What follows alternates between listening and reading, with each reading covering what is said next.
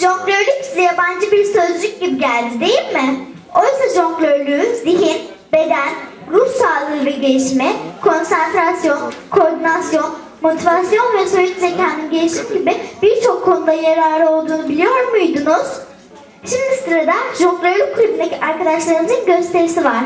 Zevkle izliyoruz.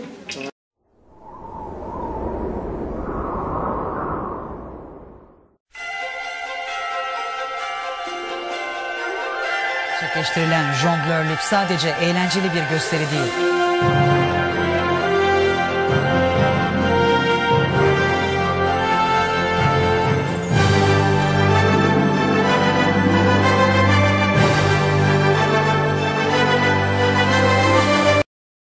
Top, labut gibi nesneleri havaya atıp yakalayarak gerçekleştirilen jonglörlük sadece eğlenceli bir gösteri değil. Çocuk gelişiminden sağlığa faydaları oldukça fazla.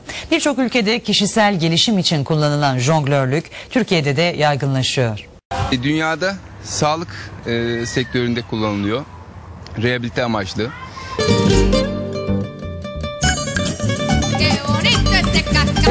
Y como era de oropel como por la madrugada y como era de oropel se lo di a mi prenda amada para que juegue con él allá por la madrugada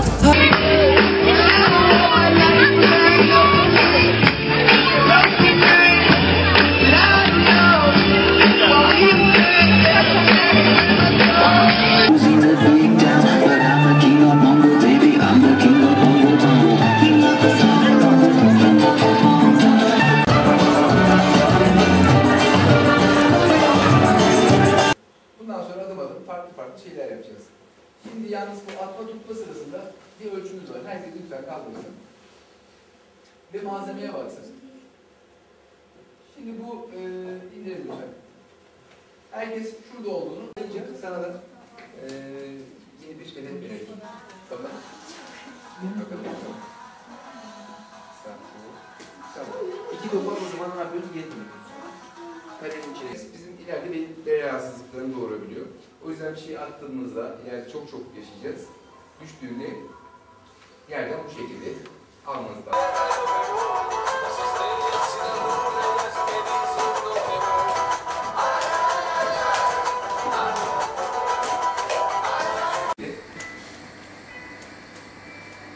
Statistiklerini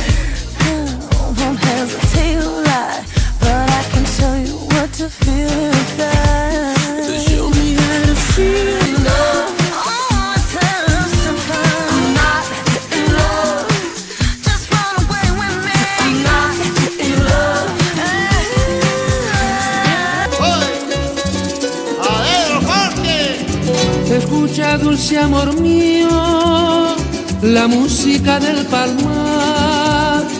Escucha dulce amor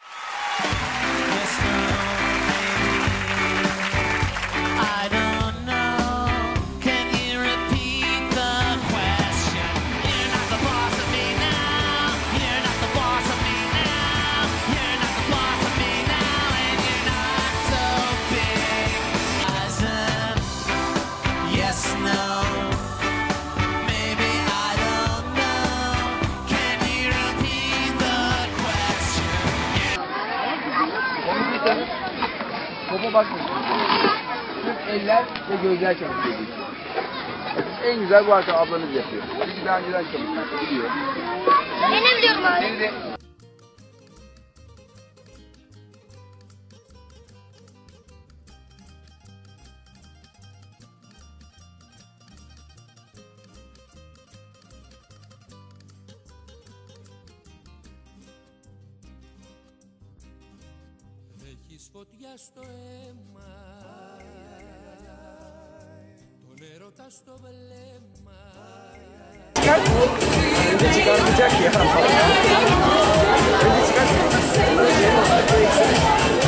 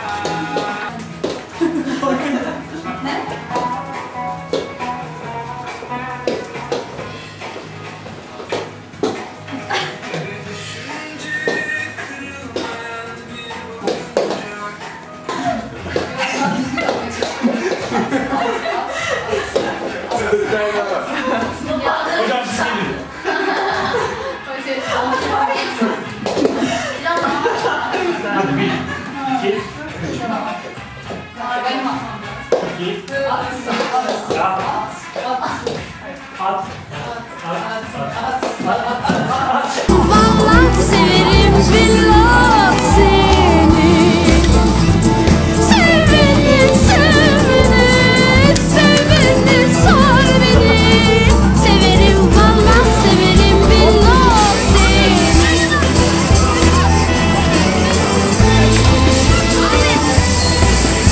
Jonglörlük Türkiye'de de sanat, spor ve iş dünyasında eğitim amaçlı yapılıyor.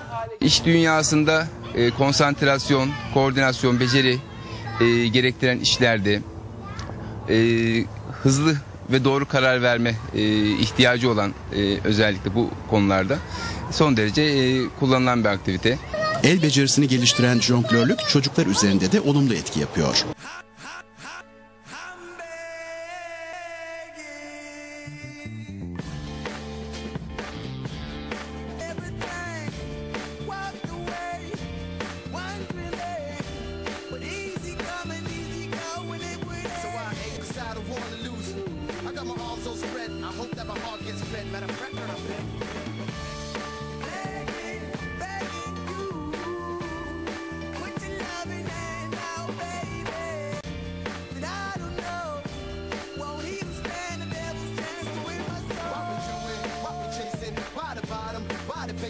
why we got.